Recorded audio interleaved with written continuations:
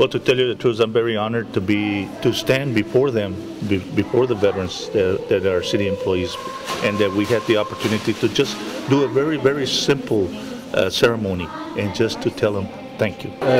I feel very proud. It's always a pleasure when people recognize us. We, we've done a service for our country, so it's nice to get recognized. That we've had it for the past few years, and it's something I enjoy uh, coming to. I make time out of my out of my schedule just to be here and be able to come here. Um, never had this happen before, and um, it's something that's really appreciated by the veterans. The City of Mission wanted to make sure that we took the time to recognize and honor our veteran employees. So we started this about three or four years ago. Um, it was actually an idea of one of our HR employees.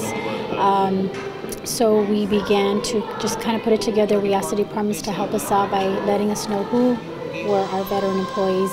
And like I said, we've been doing this for about three or four years now. And it's a simple lunch for them. A simple lunch, we give them a certificate, but the most important thing is that we just want them to know that we appreciate their sacrifice.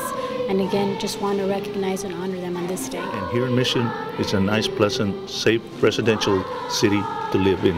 And we thank that to our veterans to give us that opportunity. I know freedom is not is not free, and I also want to take the time to thank the families of those that are deceased veterans from the city of Mission that are not here, and we didn't have the opportunity to honor them, but we'll honor them through our hearts.